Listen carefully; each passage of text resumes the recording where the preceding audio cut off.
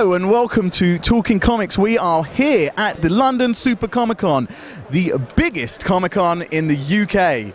And uh, we're surrounded by so many fans. There's a queue just to the right of me for Dan Slott, who's sitting here giving the old Spider-Man fingers, and he's the, the queue's going back a long, long way. We got people all from around the country come here, especially for this one con. Uh, it's way, way bigger than last year, I can tell you, way bigger. And I can imagine that next year is going to be even bigger. So you guys, if you weren't here this year, you need to make sure that you come and get, you know, come down here next year because it's going to be amazing. We are here at the LSCC with Dan Slott. Hello, Dan. Hi! Some people know him as the bringer of death, the Gabriel Angel for Peter Parker. Yes, I'm an evil and horrible human being. I have ruined your life. Um, why? We, we, no one's going to forgive me if I don't at least start with that question. Just cause. I had nothing better to do. Because you can. I can. I knew it would hurt you. I drink your tears and made strong by them. No, no, it, no. It just it's something I really wanted to do. When you when you think about Peter Parker, he is the ultimate underdog. He's the guy that he can lose. And it, it, it breaks my heart. All these people who read 700 who go, it was a cheap death, or it, it was it, it was terrible thing to do to Peter Parker. Oh my God, you ruined his memory. No, this is the way Peter Parker is always meant to go, in that he's going to fight unbelievable odds. Everyone's going to think he's a menace, and he dies knowing only he did the right thing. You know, the moment he gives Doc Ock all his memories and experiences and leaves the world, he takes an impossible situation and he finds some sliver of victory in it, and that he leaves the world a hero instead of a villain. What else could he have done, you know, when he got to that point? Um, ah, I just, I love that story so much. Do you, do you feel like you've kind of come full circle? Because you took on uh, Spider-Man after the JMS run, and he just had that kind of cosmic restart, let's call it, and um, and then you know he's now come around to. I don't. I don't want to say dying again, but now we, uh, it's, you know, he's disappeared and he's kind of back in Superior in its own weird way. No, no, he's around. He's, He's like a, you know, The friendly. Uh, I don't want to give too much away, can I? Yeah, no, people. If you haven't No, read it by now, haven't read it you haven't read it by now. What are you doing? Where have you been? Under a rock? Are you sleeping? You you have you know some part of Peter Parker is still in there somewhere. He's still you know fighting his way through, um, because oh. I almost gave things away. No, you're, you're gonna have to. Oh, oh, come on! You're gonna, something. you're You gonna so have, well. you're gonna have to read Superior Spider-Man number nine. Oh, number nine. number nine, it's coming up. It's a key issue. Very, it's a game changer. It's again. Again. Uh, yes, Wow. something really big happens in Superior 9. And let me tell you, like, sitting in the Marvel retreats, there are a lot of bigwigs at Marvel who went, What? No, no. so, like, when even you get to a certain level of certain guys, when they're acting like fans, when they're going, like, Wait, you know, then you, you know you're in a good zone. You're onto something. Yeah. Um, so now we've got Doc Ock in control. Yeah. I, I, I'm kind of interested about this kind of reflection he had with the Sinister 6 Mm-hmm. Why did you pit him against his old buddies? you know, the minute he decides to do good, inevitably he's going to have to fight guys that were his friends. We're going to see a lot more of this when Chris Yost is writing Avenging Spider-Man. You're going to see more of the Sinister Six being taken down by Doc Ock. And you're going to see the ramifications of that over in Avenging. Meanwhile, over in Superior, things are moving forward. You're very conscious now of what you're saying. I can see in your eyes. Yes, no, I'm being very, very cautious. I, I don't want to give anything away. No, good, good. We, weren't we good at keeping everything from 700 a secret? You know, you didn't see it coming. You did not see it coming. you went into hiding, actually. Yes, I did for a couple weeks because I knew once Superior came out and people saw Peter like resurfacing, everyone would be like, ah. Well, was it true that you had security to protect you from crazy nutters? I cannot confirm nor deny that. Right. Right. Okay. but they were, they, they, they- you know, there was some. Can you confirm that you did get something that was unappealing to you? Letters that were sent that were not very nice, emails, etc. But yeah, it's, it's news. It's been on CNN. Yeah. I'm not going to deny it. There were death threats. Yeah. That's. I mean, that's that's ridiculous. Yeah. I mean, uh, Oh, but what's really lovely is that um, all these people who've, uh, a lot of people who are really angry and really upset, um, when they send in a lot of fan mail now and and messages and things, they go, "I was really upset. Now I'm on board." You know, like, yeah, I was so mad, but no, I like where it's going now. And it was the end of Superior Spider-Man number one, literally right at the end of that. You you Boom. took people off and you brought people back in, and it wasn't even they didn't even know. You know, it was like being smacked twice in the face, knockout. so many people are like, why? Why did it happen now? Why not wait 12 issues? Why not slowly seed it? And it's that aggravation that that a new group of readers have, which is why you do it because you didn't see it coming. You didn't think we were going to do it. It's the elephant in the room. The minute you do this, every jaded comic book fan, every person who's read comics for 30, 40, 50 years goes, "Oh, of course they're bringing Peter back." So boom. Let's just turn over that card right now. Here you go. Here's Peter Parker trying to get his way back. Let's not pretend that we're going to pull it out for 25 issues and then bring him back. You know, No, I didn't say that. I just said let's just turn over that card now. You know, don't say I don't try, guys. Don't say I don't try. you're, you're going to have to wait and see. ah, okay. But I think we've done a good job of of of going against people's expectations. Yeah. And it's really weird when I see people go online and they they guess where it's going and then they start judging the book off of their guesses as if they're right.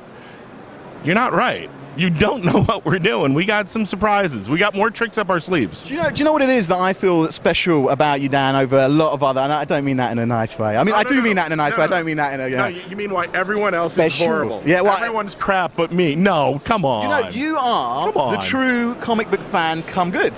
That okay? I, I get that, and it's true. But I'm gonna let you in on a secret. Come on then. That is every comic book writer. They just hide it better. I have no poker face, and I don't hide my fandom. Ah. I like I let it out. I just go, yeah. But every single one of these guys, every you know, everybody, Bendis, Brubaker, you know, Fraction, Hickman, they're all comic book fans. They just don't want you to know it. you know. But you, well, you really are a comic book fan because we saw at uh, a, con not long ago. We saw you. You were all over the Doctor Who and the. Oh. Red Dwarf. Oh God, yeah, yeah. No, no, no. That's not being a comic book fan. That's just being a geek. That's a geek. And yeah, You're I'm, one of us. This is what I'm Oh, saying, Dan. God, you yeah. are one of us. I'm- I am- You're a member of the tribe, dude. Err. yeah, no, I no, but we've all got our different things, and I've got places where, like in my fandom, where there are big gaping holes where people go like, he doesn't know a thing about that. No, but like when I'm really into something like Doctor Who or, or like Red Dwarf or something, I'm I'm super into it. I can quote all the episodes and One one line that describes, or a few words that describe the next five issues of Superior Spider-Man. the next five issues of Superior Spider-Man. One sentence, whatever you can do. Just Oh, um, you I got him, I got you only think you know. I like it. I like it. I like it. Very good. Thank you so much, Dan. We hope to see you again later on when it's calmed down and you've signed It five. never going to be calm. Have you seen the line? It's crazy. They're mad. They want me there right now. I shouldn't be here talking to you. I think we're going to start getting rage if I. yeah, no, it's all good. But yay! Keep watching the channel. Cheers.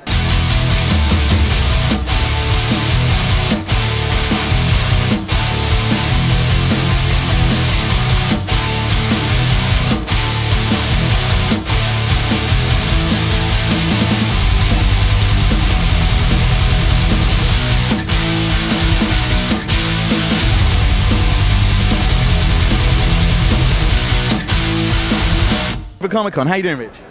frustrated and uh, flabbergasted at the amount of people here. It's just been phenomenal. We've been open a few hours, and my God, there are tons of people here, which is really cool. So we're having a great time. I, I found it hard to get to your, your stand. It was so rammed. it was. We've got a queue literally going around the block for Adi, Dan Slott, and Marco as well. So I think we did something right, but it was a case of you know we we've had to usher people around, and um, that's why I'm frustrated because we want to get people in and out, get stuff signed. But um, it's great. What a great, what a great crowd as well. Everybody's happy.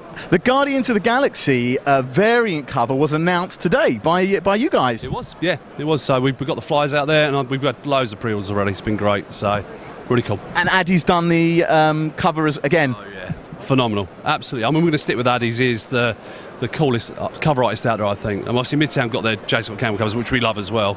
Um, but Adi, my word, it's yeah, phenomenal stuff. Really good. So, so we're going to expect some more variant covers from you guys. We are, yeah. We're going to do an X Men one, um, which hasn't, yeah, hasn't been hasn't been signed yet. We haven't signed up with Marvel, but what they said yeah, it's okay to, to go. Um, which will be for a charity, which is going to be good fun. Um, Right, and we announced that on the show. We did, yeah, which is cool. And then we, yeah, we'll see how it, how it goes this year. Hello and welcome to Talking Comix. We're here at the LSCC with John Wagner. Uh, well, how do I even start? Judge Dredd legend. What, what do you feel about the impression that they're giving at the moment that he may be uh, gay? Uh, I'm not happy about that at all. I don't think his sexuality ought to come into anything.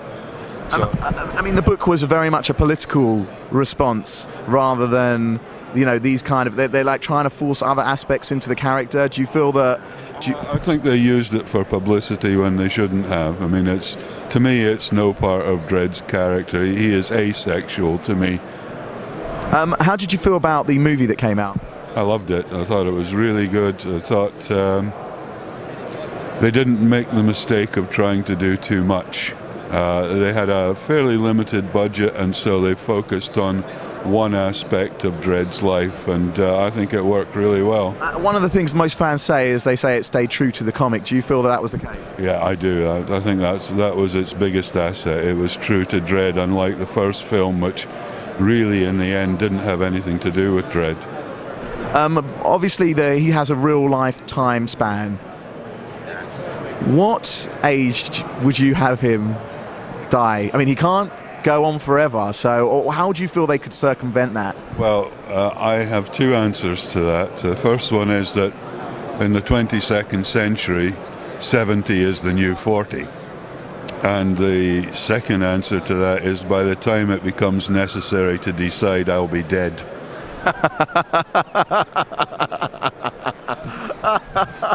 you just blow me away. I'm sorry.